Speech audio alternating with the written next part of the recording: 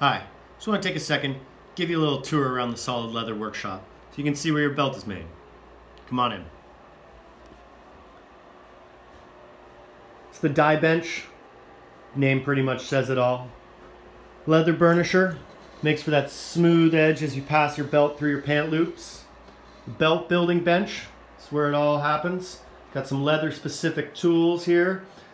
Round knife, rotary hole punch, edge beveler. Got your two pound maul. It's an oblong punch for the buckle, stitching groover, diamond chisel. This little baby saves me a ton of time. got your world's smallest anvil. I don't actually use it. I just think it's super cute. Belt blanks, as you know, every solid leather belt is made to order. There you have it. It's not a lot to it. It's a tiny shop, but I get a lot done. I'm Jesse Bateson with Solid Leather. Thanks for watching.